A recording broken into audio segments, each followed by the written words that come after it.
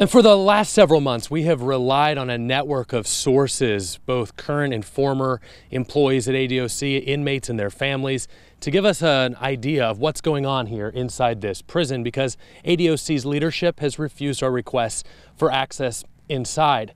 But now a veteran officer says he is speaking out because he couldn't stay silent any longer. They're willing to treat officers like they are how do you think they'd be willing to treat inmates? Stacy George resigned last week from a career he was proud of. That is until he says everything changed three years ago within ADOC. No, when I come in, Matt, this was the best job in Alabama. It was the best kept secret in Alabama.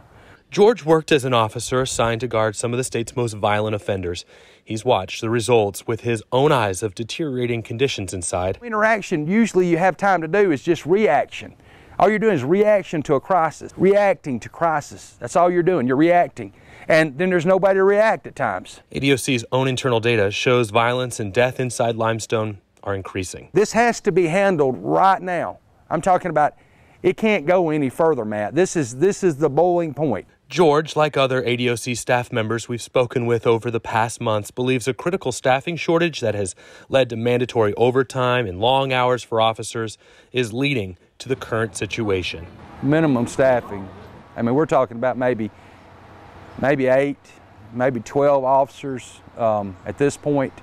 Um, then if you have, you know, incarcerated individuals at hospitals, um, we're talking about there's no telling what it could be. I mean, you've got posts that are not manned. It's really a, it's a really a sad situation.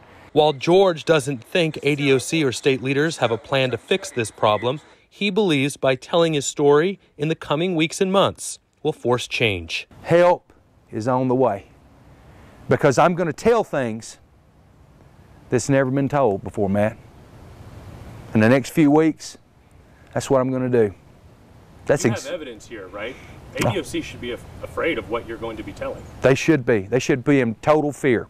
George is headed to Montgomery on Friday for a rally at the state capitol to talk about these same issues with inmates, family members, and other advocates for incarcerated people across our state. He says he's also working on a new book deal and he has lined up several network national news interviews in the next couple of weeks.